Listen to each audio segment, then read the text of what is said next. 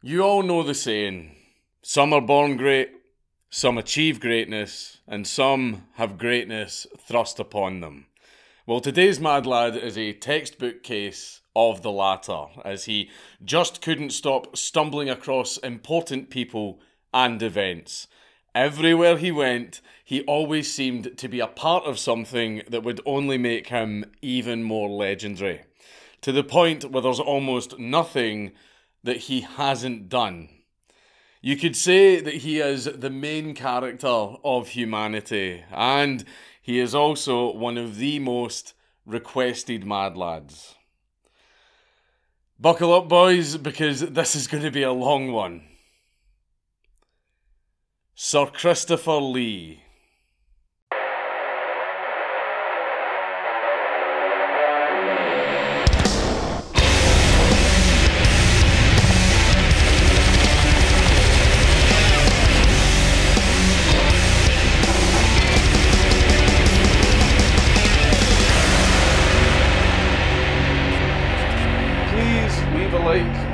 Comment on this video because it really helps me in the algorithm. But before we get into the Mad Lad, we have a new sponsor. This video was brought to you by Gemstone Legends. Today's sponsor is not sponsoring me solely, it's also sponsoring all of you as well. Together with Gemstone Legends, we are happy to announce the legendary contest of gemstones, taking part in which will earn you a chance to win a shiny new smartphone. For information on how to sign up, you can find all of that at the link down in the description.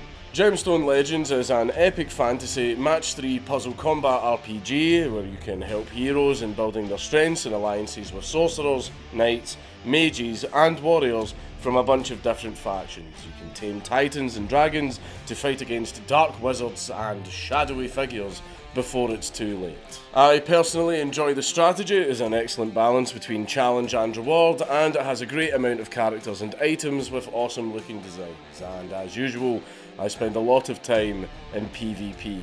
Gemstone Legends is currently one of the top rated apps worldwide with a 4.4 out of 5 stars on Android and a 4.8 out of 5 stars on iOS. And you can find me in the game under the nickname Count Dankula. And speaking of iOS, you could be the winner of a shiny new iPhone 13 Pro, a Samsung Galaxy S21 Plus, or Google and Apple cards. Just look in the description below for the details and download links to install the game, or simply scan the QR code and you'll automatically take part in the contest. And this offer is only available to contestants. Moreover, after installation through my link or QR code, you will get a super bonus for new players worth $50 with the epic hero Moralia. And you can download the game and win great prizes, so show them some love. New sponsor, click the link. I've got a cold. and I really don't feel good. Click the link. Christopher Frank Carandini Lee was born on the 27th of May 1922 in Belgravia in London, and he was the son of a Boer War and World War I veteran named Lieutenant Colonel Geoffrey Trollope Lee, and his mother was Countess Estelle Marie Carandini di Sarzano. These are some big ass names. His mother was a member of the Italian noble house of Carandini. Christopher's lineage really sets the tone for the type of life that he would go on to lead. After all, he was a direct descendant of Charlemagne. He was only just born and he had already earned the coat of arms of the Holy Roman Empire. Also, because he was born into a noble family, he tended to have some interesting people come and visit him throughout his childhood, including Prince Yusupov and Grand Duke Dmitry Pavlovich. That's right, in his youth, Christopher Lee met Rasputin's assassins. When Lee was just four years old, his parents separated and he moved with his mother and sister to Wengen in Switzerland.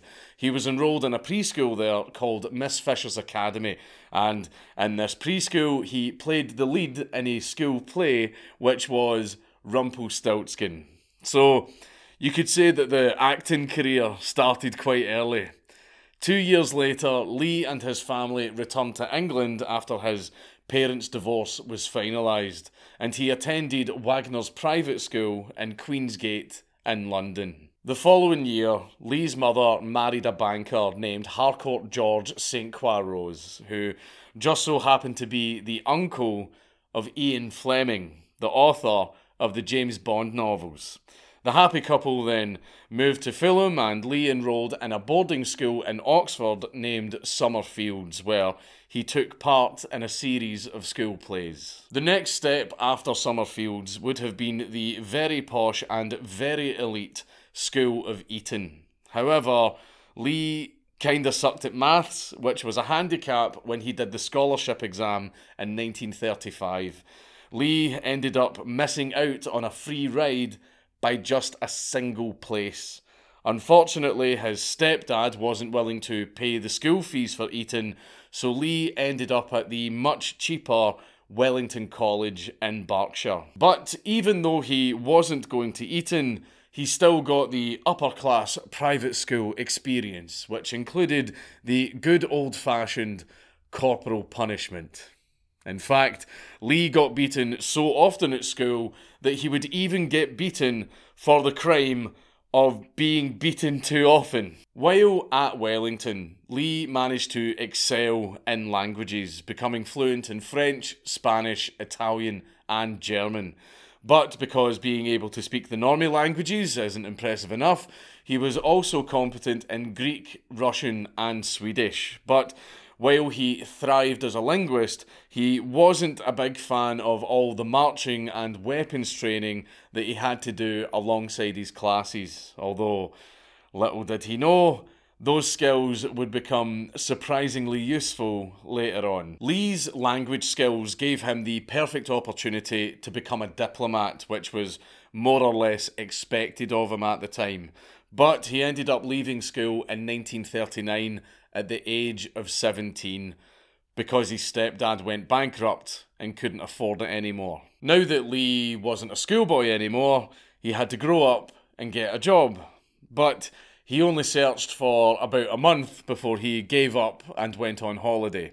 He went to stay with his older sister in the French Riviera, which was perfectly timed for Lee to see the last ever public execution in France on the 17th of June 1939. But Lee said that he turned away at the exact moment the guillotine was dropped, so he maintained his composure and never lost his head over the whole affair. Lee was actually very interested in capital punishment and he liked to visit the Crime Museum at Scotland Yard. He was also able to name every single royal executioner dating back to the 15th century. I mean, that's, that's a little bit grim, but you know, everybody needs a hobby. After leaving his sister, Lee had a very enjoyable stay in Menton with an exiled Russian princely family. You know, as you do. But unfortunately, this was cut short as Europe was about to boogaloo by this point, so Lee went home where it was safer.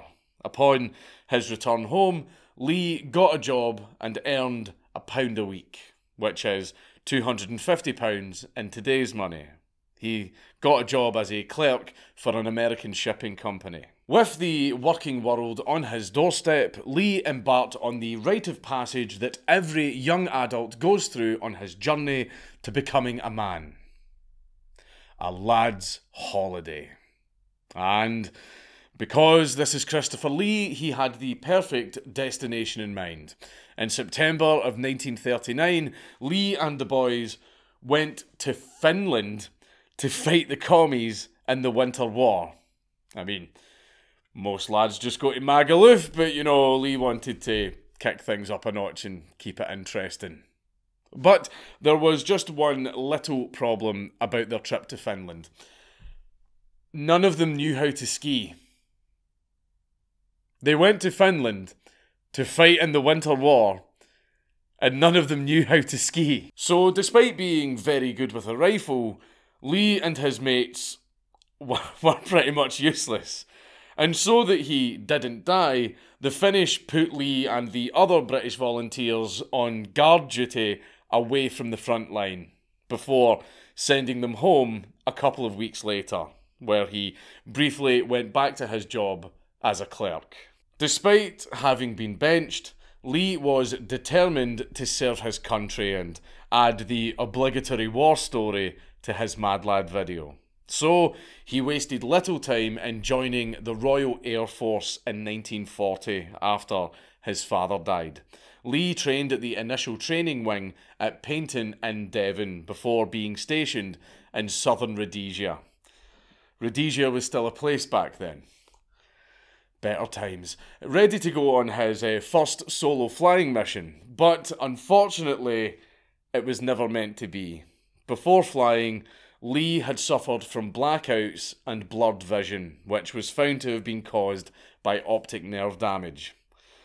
So Lee was permanently grounded. And because he wasn't very useful to an air force because he couldn't fly, they basically had him doing all of the crappy busy work. Despite being extremely disappointed, Lee didn't let this get him down, and he resolved to turn lemons into lemonade. He applied for RAF intelligence, where his initiative impressed the higher ups. He was quickly seconded to the British South Africa Police, where he was a warder at a prison for a while before being transferred to South Africa and then Egypt, where he continued his intelligence work throughout the North African campaign.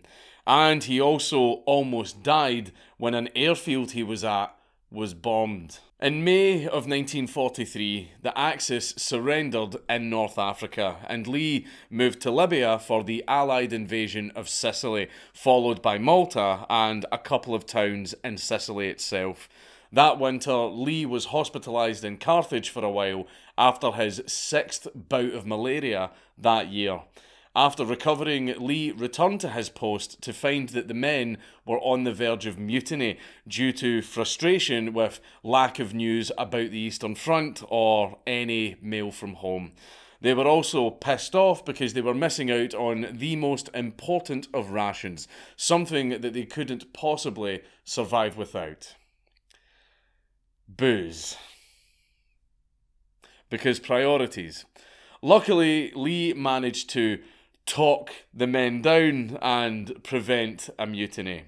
And that July, Lee was promoted to the rank of flying officer, despite the fact that he still couldn't fly. In the winter of 1943, Lee was seconded to the army where he served during the Battle of Monte Cassino with the 8th Indian Infantry Division and the Gurkhas.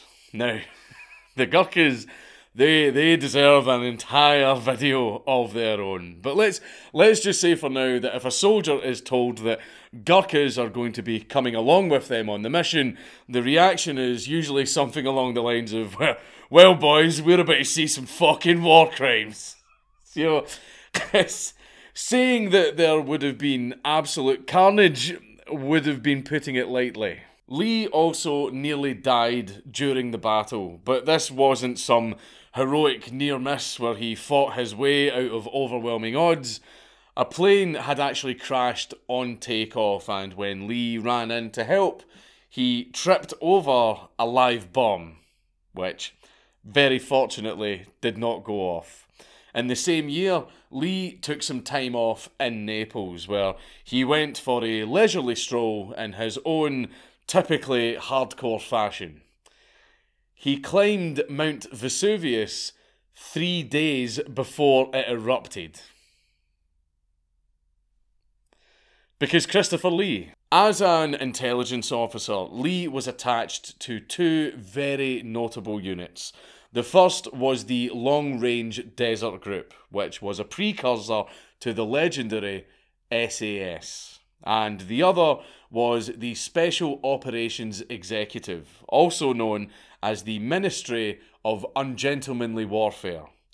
Lee was very famously tight lipped about exactly what he got up to during the war, saying, I was attached to the SAS from time to time, but we are forbidden, former, present, or future, to discuss any specific operations. Let's just say I was in Special Forces and leave it at that. People can read into it what they like. And yeah, people really read into it. This secrecy has resulted in Lee's military career becoming almost legendary, with loads of speculation and embellishment that Lee always refused to confirm or deny, which only increased his mystique even more. People believed that he was kicking arse and taking names with the best of the best, moving around behind enemy lines and sabotage and seek and destroy missions and blowing up Luftwaffe airfields or carrying out secret missions in Yugoslavia. Lee was so committed to playing coy about his military career that whenever an interviewer tried to get something out of him, Lee would have a bit of fun with them. He would lean in and ask, Can you keep a secret? And naturally, the interviewer would get excited and eager to get the first scoop on Lee's war stories. And they would say, Yes, yes, I can keep a secret, Mr. Lee. And then Lee would lean in and go, So can I. The man trolled journalists. Based. Despite the fact that Lee always trolled interviewers whenever they tried to pry into his military record, they were never deterred. Even Terry Wogan couldn't resist asking if Lee was a spy. So Lee, being very tall, just stood up and said, Do you consider that I would blend inconspicuously into a crowd? A spy? In April of 1945, Lee took up a position in the Central Registry of War Criminals and Security Suspects as the war ended. His job was to hunt high ranking Nazis that had escaped Germany after the war. And of course, he was very secretive about this too, which gave him the image of an Aldo Raine esque Nazi hunter. As Lee himself described it, we were given dossiers of what they'd done and told to find them, interrogate them as much as we could, and hand them over to the appropriate authority. We saw these concentration camps. Some had been cleaned up, some had not. Despite having sworn himself to secrecy, Lee did give a little bit of insight into what he got up to as he got older, saying that he's seen, and I quote, dreadful, dreadful things. He also described war as real horror and blood, and he admitted that horror on film doesn't affect him much as a result. Despite the swashbuckling nature of heroic war stories, Lee was pretty candid about his experience and really got across its harrowing nature in one interview, where he said, I've seen many men die in front of me. So many, in fact, that I've become almost hardened to it. Having seen the worst that human beings can do to each other, the results of torture, mutilation, and seeing someone blown to pieces by a bomb, you develop a kind of shell. But you had to. You had to. Otherwise, we would never have won. Considering what we know about warfare, that's a bit of an understatement, if anything. Luckily, Lee didn't have to suffer such an environment forever, and he retired from the RAF in 1946 with the rank of Flight Lieutenant. Even though he never flew, after the war, he even carried his military ID around with him to get into police and military headquarters whenever he felt like it. Now, I would hate to burst your bubble, especially considering how much you all love epic war stories, but I have to dish out some hard truths. Lee wasn't really a member of the Special Forces. While it is True that he was attached to the Long Range Desert Group and the Special Operations Executive, he didn't actually serve with them. Being attached just means that he was an intelligence liaison, so his primary job would have been briefing and debriefing pilots and sharing intel with other units. It also doesn't help that Lee's name doesn't appear in any records, further proving that his involvement was a lot more modest than people were led to believe. As for the post war Nazi hunting, well, in reality, Lee's job was more comprised of detective work behind a desk instead of scalping sauerkrauts and raiding flights to Buenos Aires. But despite the fact that I now feel like I'm telling a child that Santa isn't real, I'm not saying that Lee lied about his military service. After all, he went out of his way to avoid discussing it. But it's safe to say that the rumours of Lee's exploits got a little bit out of hand, although this was likely by design. The Special Forces units that Lee was attached to weren't actually subject to the Official Secrets Act, which means that Lee was free to talk about them as he pleased. He just chose not to. So any rumours that people decided to make up, they really weren't Lee's fault. Lee didn't say anything. Other people just made up a bunch of exaggerated stuff. But you can't blame him too much. What showman, especially one as larger than life as Christopher Lee, doesn't like to maintain a bit of mystique? Luckily, Lee's exploits from this point onwards more than make up for the embellishment of his military record. And it only gets crazier from here. Upon his return to civilian life, Lee just couldn't bring himself to go back to working behind a desk. So he was at a bit of a crossroads in his life and he really didn't know what to do with himself. And then one day, Lee was having lunch with his cousin, Niccolo Carandini, who just happened to be the Italian ambassador to Britain at the time, when he asked Lee, Why don't you become an actor? He also pointed out that Lee's great grandparents had founded the first opera company in the 1850s. So performing was in his blood. However, Lee's mother was less than thrilled that her son had found his calling. Lee quoted her as saying, Think of the disgrace you will bring on the family, and think of the appalling people you will have to work with. What did she mean by this? Well, she wasn't wrong on that last point, but she did forget the first rule of parenting. Telling your kid not to do something only makes them want to do it more. So Lee went out and joined the rank company of youth, where he learned all about acting. And fortunately, we have footage of what Lee got up to during his training. He cleaned the stage. It was his job to clean the stage. Now, I know that that sounds bad. I mean, he went there to learn the art of acting, and instead they had him tidying up after them. But to be fair, Lee did have a very important role during their performances. He held up cue cards. You've got to start somewhere. After completing his training, when he finally got to do some real training, Lee began seeking roles in movies.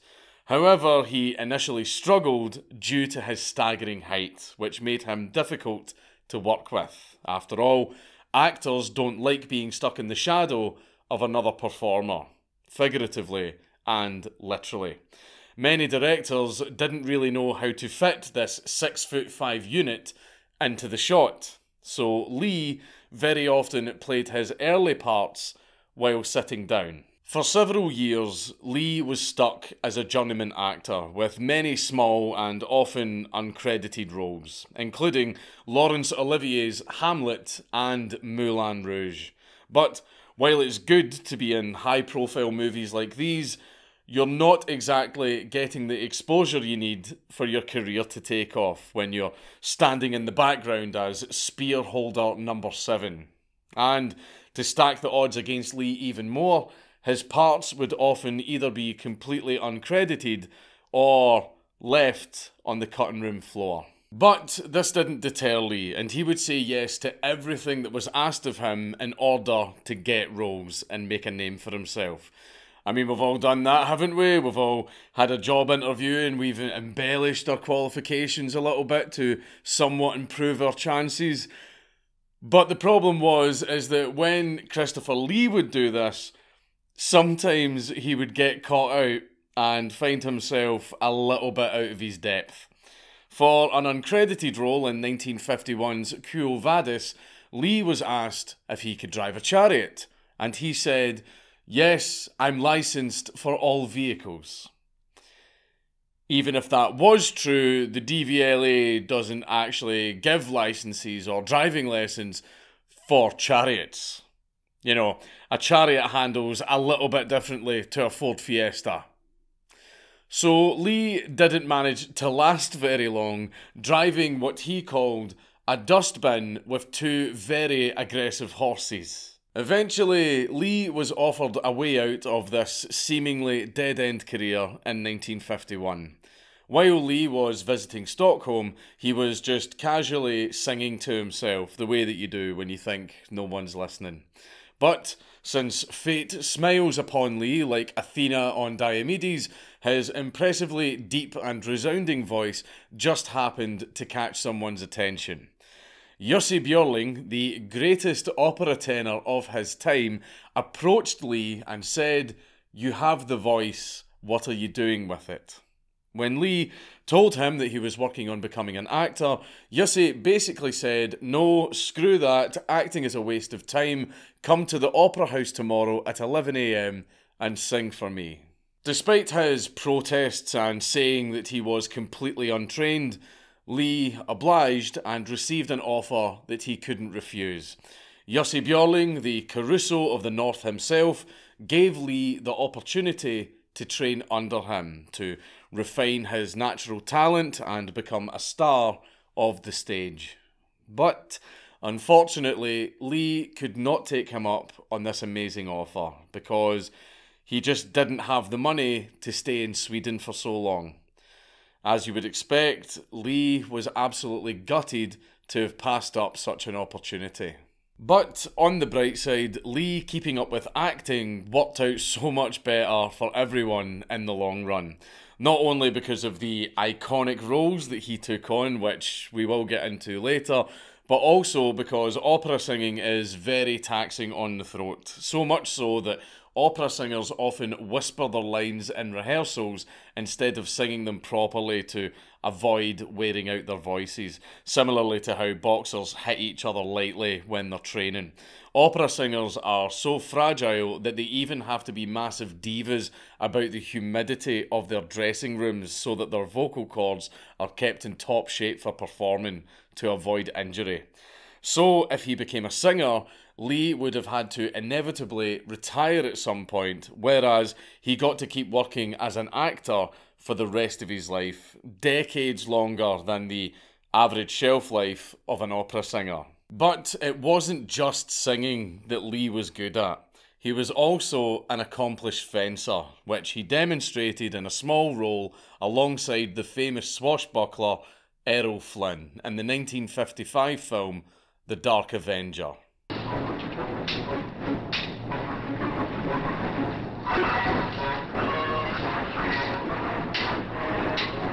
Now that looks great, doesn't it? Lee looks badass and the fight seems to have been done very professionally.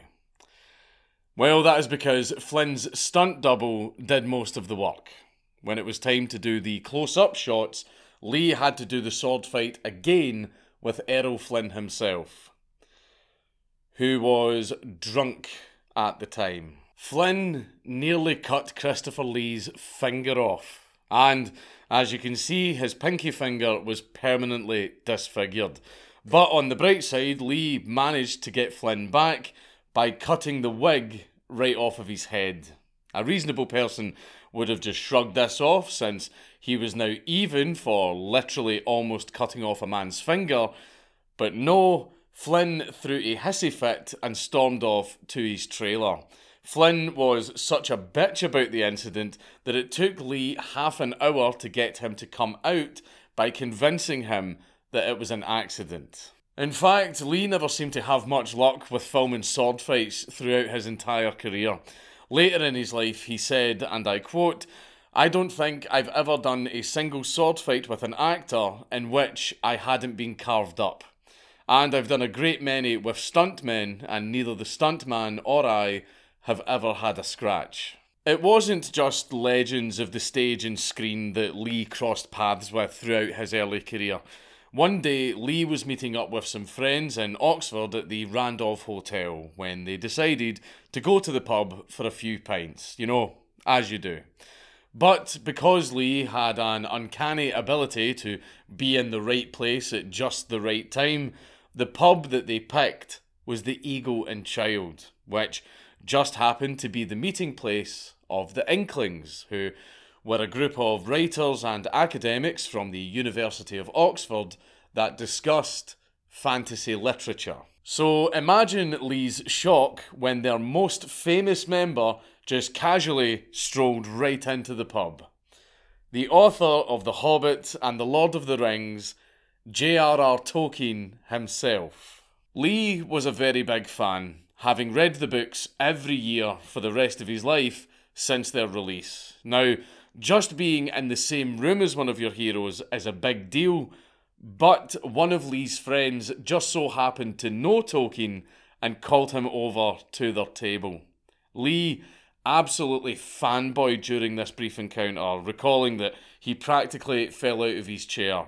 Naturally, everyone at the table exchanged pleasantries, but Lee was in complete disbelief at what was happening and was about as speechless as someone in Scotland who wants to tell an offensive joke.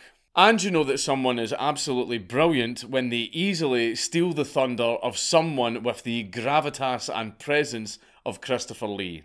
But to be fair, Lee being unable to keep his cool is understandable. Recalling the encounter, Lee said, and I quote, He was a benign looking man, smoking a pipe, walking in, an English countryman with earth under his feet. And he was a genius, a man of incredible knowledge. Lee clearly greatly admired Tolkien, but despite Lee being pretty much frozen in awe during the only time that he ever met Tolkien, it is rumoured that he did write to him a few times. Now, this has never really been confirmed, so take it as you will, but it is said that Lee eventually got the author's blessing to play Gandalf should his masterpiece ever be given a film adaptation. In the business, we call this foreshadowing. Almost. After a decade of bit parts, deleted scenes, getting cut up while other people got all the glory, and not playing Gandalf, it was time for Christopher Lee to venture into the genre of movies that he would become known for. In 1957, Lee came to a turning point in his career where everything changed. A British studio named Hammer Film Productions hired Lee, and his looming height was put to good use for the part of Frankenstein's monster in The Curse of Frankenstein.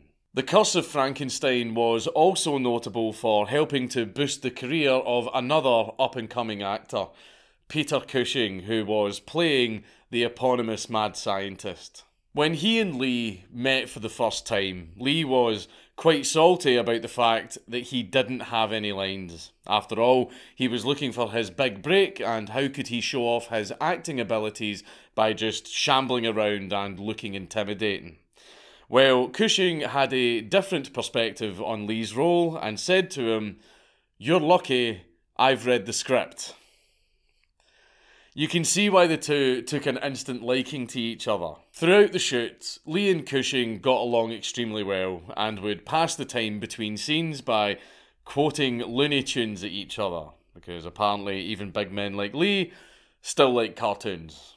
Cushing and Lee went on to bond even further by appearing in many movies together, and they quickly became very close friends for the rest of their lives. This kind of camaraderie behind the scenes must have helped the two actors a lot with coping with the relatively difficult shoot. The sets were rather small, so naturally, a big guy like Lee had a tough time moving around. And Lee was also hurt during a scene where the monster is shot. That pained gasp was real, but don't worry, it was nothing major. Lee just got some of the fake blood in his eye. In the end, critics weren't huge fans of the movie. But it turns out that critics have always been out of touch because the audience absolutely loved it, which resulted in The Curse of Frankenstein becoming the highest grossing British film at the time. And now that they had a hit in their hands, Hammer Productions were eager to work with Christopher Lee again. If The Curse of Frankenstein got Lee's foot in the door, it was his next film that made him a star. One of his most notable ever roles. 1958's Dracula. Unlike The Curse of Frankenstein, Lee actually got to speak. Sort of. He only had 16 lines across 7 minutes of screen time. So the movie is called Dracula, but Dracula is only in 8% of it. But with only a few words, Lee made one hell of an impression because his performance was instantly iconic and usurped Bela Lugosi as the face of the famous vampire. As a result, the movie did so well that it made over $25 million worldwide on a budget of just £81,000, which made it one of the most profitable British films in history. And as for what the movie did for Lee's career, well, the size of his name and face on the billboards can speak for themselves. Much like The Curse of Frankenstein, Dracula took a lot of liberties with the source material. Bram Stoker's Dracula was described as a white haired old man that wore black from head to foot without a single speck of colour. In the movie, however, Lee's Dracula looked nothing like this. Despite Lee's best efforts to put the essence of the literary character in his performance, he never had the script or look to pull it off. Lee's Dracula looked 30 something, suave as hell, and had a cape that was lined with red, something that would go on to become an iconic part of Dracula's image in later representations. Also, there's the issue of the infamous vampire bite. I mean, sure, it's all horrific and gory in the book, but when you're a charming as hell bad guy chowing down on a woman's neck in slow motion, it doesn't really look particularly scary. In fact, it kind of looks the opposite of scary.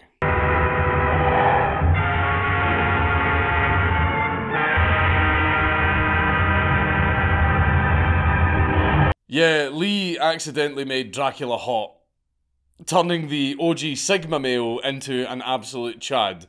Obviously, Lee didn't intend for this to happen, but Hammer's script was just too horny for it to go any other way.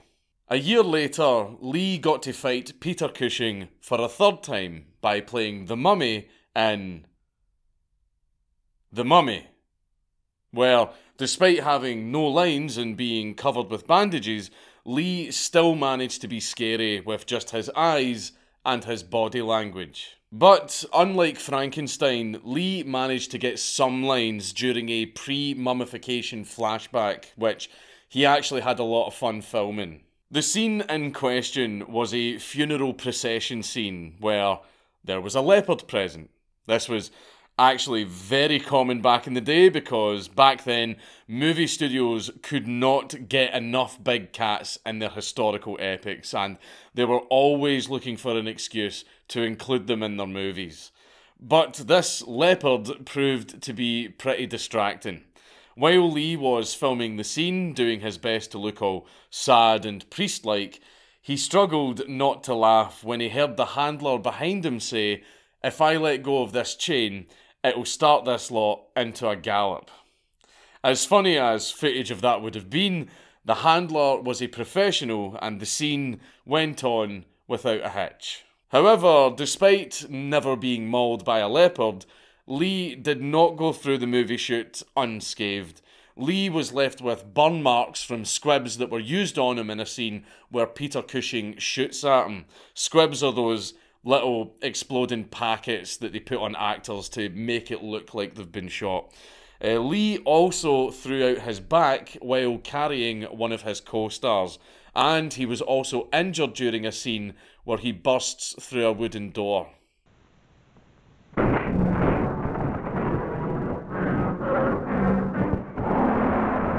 Now, that looks safe enough. Simply push the door open and make your big dramatic entrance. How could that have possibly gone wrong? Well, someone had accidentally bolted the door shut before shooting began. So when Lee crashed into the door, he was basically running into a solid wooden wall, which dislocated his shoulder. But despite Lee's injury, they actually used this shot in the movie, and you can see the lock in the door come swinging off as it goes down. And what is most impressive is that even though the door was bolted shut, Lee, being the absolute unit that he is, still smashed right through it anyway. Luckily, apart from some bruised knees during a swamp scene because Lee couldn't see the pipes under the water that were filling the tank and he, he kept walking right into them, the rest of the production went without any further injury. With the making of the movie out of the way, it was time to promote it. And when Lee arrived outside a hotel in Manchester for an interview, he bumped into an old friend, the leopard from the funeral scene. But it wasn't a coincidence. Lee was then asked if he wanted to take the leopard into the interview with them. And Lee was just like, Yes. Lee obliged because the leopard was actually really chill for a wild animal. However, the hotel staff and the other guests, they, they, they were not so chill about it. They looked up and saw Christopher Lee just casually strolling through the hotel lobby with a fucking leopard. And so all of them got up and ran for their fucking lives. Working with Hammer Horror on these three movies boosted Lee's profile dramatically and really propelled his career forward. And when you're an actor that's starting to get a bit of clout, it's only a matter of time before journalists start sticking their noses in your business. And there is nothing that these vultures love more than prying into famous people's dating lives. So, how did Lee fare? Was he a standard Hollywood playboy type? You know, considering his height, he would certainly have a big advantage. Because women like tall men. Get your mind out of the gutter. Well, he actually did very well. As the son of a countess, it was only fitting that he would attract someone pretty classy. In 1958, he met Henriette von Rosen, the daughter of a Swedish count named Fritz von Rosen, and he met her in a nightclub in Stockholm, and the two were subsequently engaged. But, as happy as the couple were, there was only one problem in laws. Henriette's father did not like Lee, and he made it very difficult for the two to get married, which resulted in the wedding being delayed by a year. Fritz hired private investigators to investigate Lee and made him do interviews and even had him provide references. But when all of these, frankly, quite paranoid measures turned out in Lee's favour, Fritz wasn't satisfied. Eventually, he decided to make sure that his daughter would never marry Lee. So he gave Lee an impossible task to obtain the blessing of the King of Sweden himself. But Fritz had underestimated Lee's status as the anime protagonist of real life.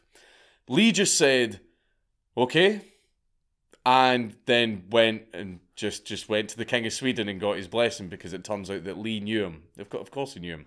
Of course he knew him. He knows fucking everyone. Her dad must have been absolutely furious at getting beaten at his own game. But, like it or not, Christopher Lee was getting that booty by royal decree. Despite having overcome all of the insane barriers to marriage, Lee ultimately called off the wedding because, as a fledgling actor with barely a modest income, he thought that Henriette deserved better. But, to be honest, if anyone had dodged a bullet there, it was actually Lee himself.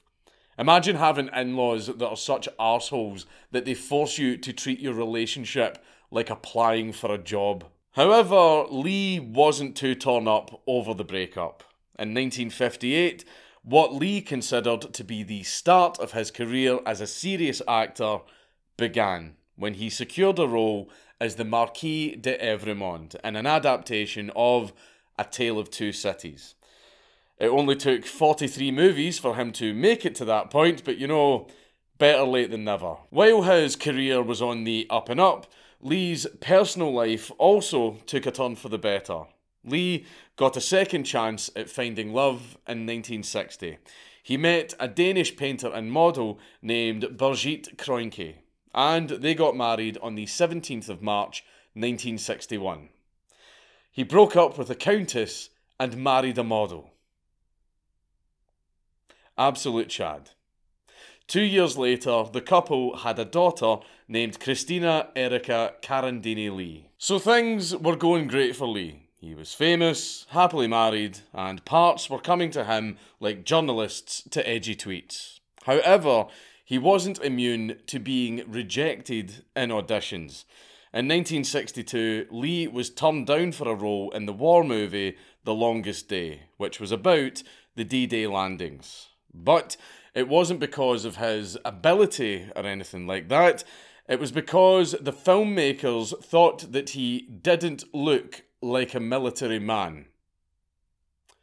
The World War II veteran didn't look like a military man.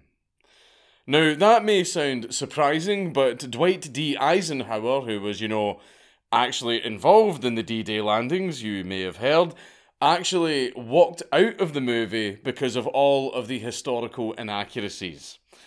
So the writers and producers were obviously fucking idiots. In 1965, Lee was cast in the face of Fu Manchu. Now, that is a very Chinese name for a very Chinese character. It certainly does not sound like a role for a six foot five pasty white Englishman. So, who did Lee end up playing? Fu Manchu. Yeah, he played Fu Manchu. Um, it, it was a very different time. It was a very different time back then. And uh, that attempt at making Lee look Asian is extremely unconvincing. He's far too tall. At the time of the movie's release, the New York City mayoral election was going on. So, some marketing guy had the bright idea of putting up Fu Manchu for mayor posters to generate some buzz for the movie. And it worked a little too well. Fu Manchu actually did surprisingly well in terms of write in ballots. And I know that that's just because everyone loves a good joke candidate for a protest vote, but still, Christopher Lee accidentally became a contender for the mayorship of New York. He never really had a chance, though, you know. Literal supervillains are far too honest for political office. Despite receiving little critical praise, the movie was successful financially, so Lee took part in four more Fu Manchu movies over the years. However, he later said that they should have stopped after the first one because it was the only good one. But Unfortunately, this was not the only case of Lee having bad luck with crappy sequels. In 1965, Lee returned to Hammer Horror to star in Dracula, Prince of Darkness. Now, the first Dracula was like lightning in a bottle. It was nothing like the book character that Lee had actually wanted to play, but this was ultimately fine because the movie worked as its own thing. This, however, was not the case at all with the sequel.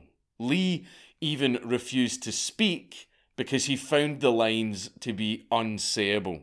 So, instead of delivering the terrible dialogue, Lee just hissed. Just, you know, hissed like a vampire. For years, Lee was increasingly frustrated by the poor quality of the writing of the Dracula movies because they were nothing like Bram Stoker's character. And he fought with Hammer for ages over it to no avail. From that point onwards, Lee refused to take on any other Dracula movies because the character that they gave him was not the one the author had created, and the scripts were just getting worse and worse. So he never did another Dracula movie ever again. Well, not willingly. Every time Lee refused to appear in a Dracula sequel, the studio would panic because they needed their star to do the movie. So, for four more movies, they pulled the scummiest move that you can imagine. They would call Lee and tell him that he can't refuse and that he has to do the movie because Hammer had already sold it to the Americans with Lee in it. And the worst part is that they would say to Lee, Think of all the people that you'll put out of work if you don't do it. And with that, Lee's hands were tied. He obviously didn't want 90 to 100 lost jobs on his conscience, especially since he really liked the crew. So he went through with it for them. But imagine writing a movie so bad that you have to blackmail your lead to be in it. How hard is it to just write a decent script? But at least Lee got to give more hickeys to hot women, so you know. Silver linings. At the same time, Lee played the lead role in 1966's Rasputin the Mad Monk, which was shot using many of the same sets and cast members as Dracula 2. It's also notable for not being in any way historically accurate at all. In fact, the movie starts with a disclaimer that says, This is an entertainment, not a documentary. No attempt has been made at historical accuracy. All the characters and incidents may be regarded as fictitious. And these disclaimers are usually there to give the studio plausible deniability in case a historical figure from the movie or their relatives want to sue for defamation. But in this case, it was pretty much completely true. The movie doesn't even mention Tsar Nicholas II at all. Nevertheless, despite the script not being up to snuff, Lee reportedly compensated by giving a larger than life performance, which seemed to earn him a fan. Rasputin's daughter, Maria, who Christopher Lee met in 1976, because of course he did, he's Christopher Lee, fucking knows everyone. And she said that Lee had Rasputin's expression. I don't know if that's a compliment or not. After his time as the big dicked mystic, Lee was asked to lend his talents to a project concerning another famous sexual degenerate. In 1970, Lee received a phone call from a movie producer who needed a favour. One of the stars of a movie that he was working on had pulled out, and his replacement also withdrew because of a bereavement. So he was pretty desperate for someone to fill the role. All Lee had to do was go to Barcelona for two days and take on the part. Sounds like a decent and easy gig. Nice trip to Spain, only two days of work, easy paycheck, job done. So Lee agreed to take on the role of the narrator in an adaptation of a story called Eugenie, the story of her journey into perversion, which was written by Marquis de Sade, which was Lee's first mistake. Despite what should have been a very obvious red flag, the shoot went without a hitch. Lee showed up to the studio in Barcelona wearing a red velvet smoking jacket, shot his scenes where he basically just stood around by himself and talked, and went home a couple of days later. The only problem was that there was a reason why Lee shot his scenes alone. It was so they could edit him into the real movie. They pulled a little sneaky on him. It wasn't until six months later that Lee found out what he had unwittingly signed up for. And he found out completely by accident. One day, one of Lee's friends told him that he was walking down Old Compton Street in London where he saw a cinema that specialised in a certain type of movie. And he saw Christopher Lee's name on the placard outside. It was porn. It was porn. Christopher Lee accidentally featured in a softcore porno. After, after Lee had left his own shoot, the filmmakers reshot the real scenes and edited Lee into them in post to look like he was actually standing there while some certain things were, you know, go- going on next to him. Now, we've all seen porn. I mean, I haven't. You obviously have, though. And we all know what normal porn usually looks like. But what does porn with Christopher Lee look like? Well, it is exactly what you would expect. And it is glorious. Lewd women. Let the voluptuous heroine of this story be your model. Observe this ceremony of sadism, which illustrates that truth. Hearken only to these delicious promptings.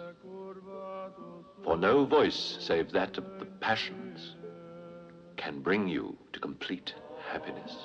Only Christopher Lee could make dirty talk sound extremely classy. Naturally, Lee was furious when he found out that he had been involved in such smut. And because essentially the filmmakers had tricked him. I can't speak for the guy, but I imagine it must suck to know that they filmed all the fun parts without him. But to be fair to the filmmakers, as soon as Christopher Lee saw the name Marquis de Sade, that should have been a huge red flag. Later in life, Christopher Lee said, I suppose you can say I've been in nearly every kind of film, one way or another. And it is truly unbelievable how so many things just happen to him by chance. It happens too fucking often to just be coincidence.